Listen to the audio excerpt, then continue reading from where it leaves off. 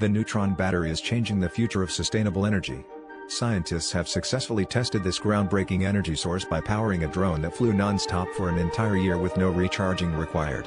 This achievement marks a massive leap forward in long-term energy storage, solving one of the biggest challenges in renewable power.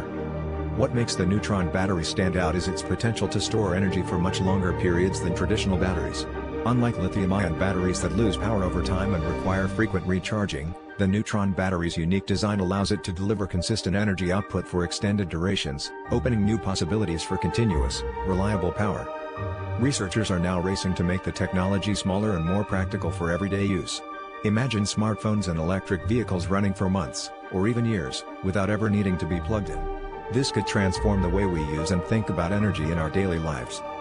Beyond personal devices, the neutron battery could help power remote locations, reduce electronic waste, and push the world closer to meeting its global sustainability goals.